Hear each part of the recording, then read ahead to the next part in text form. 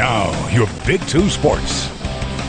All right, Aaron Reynolds joins us now with some good news. That's right, Aaron. Balmorhea Bears heading to the big time game. That's right. I know, finally, like three weeks delayed, but Yeah. as you guys remember, Balmorhea state title game was postponed because of COVID-19, and now we finally have our game rescheduled. The Bears' original game was postponed after a member of Balmorhea's coaching staff tested positive for COVID-19, and today, Balmorhea ISD released some information regarding tickets for the big game. So tickets are available pre-sale online. The link is included on Balmorhea ISD's Facebook page. Presale ticket prices for adults are $7 and $5 for students.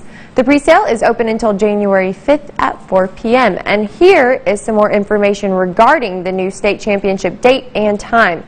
Unfortunately for the Bears, they will not be able to play at AT&T Stadium, but they will be playing their game at San Angelo ISD Stadium. The game is set for January 5th and should kick off at 6 p.m.